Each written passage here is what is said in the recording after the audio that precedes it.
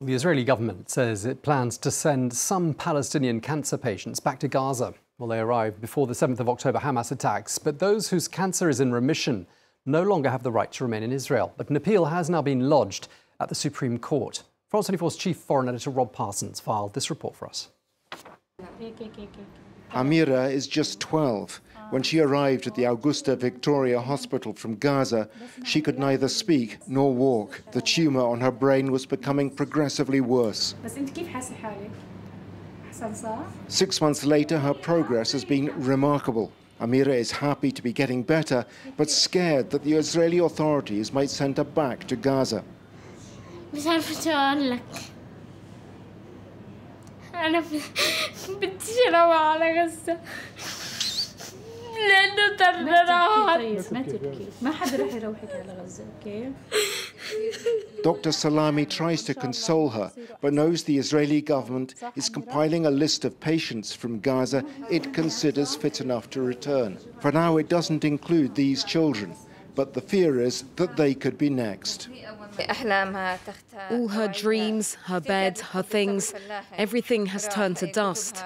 She used to love traditional dress and her books. Our house was full of memories, but nothing is left. And of course, she misses her sister and the rest of the family.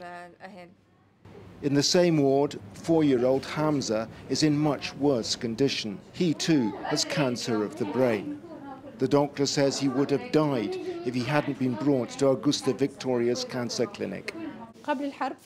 Before the war, we used to work with one hospital in Gaza.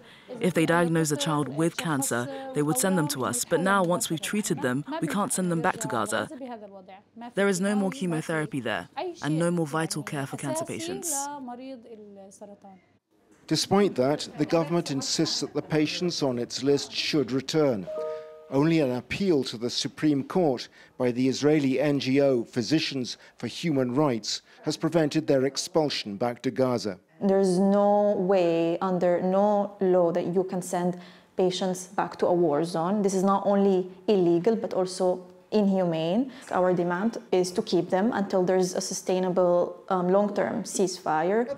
Several of the cancer patients on the list are staying at a small hotel not far from the hospital. Their treatment has gone well, and their cancers are now in remission. Well enough, says the government, for them to go back to Gaza. Yes, it's true, but you need follow up treatment with the doctors. In my case, for instance, last Friday I had a meeting with my doctor. So far, 22 people are thought to have been listed for return to Gaza. The Supreme Court is waiting for the government to make its case before passing judgment. All the patients can do in the meantime is pray that it goes their way.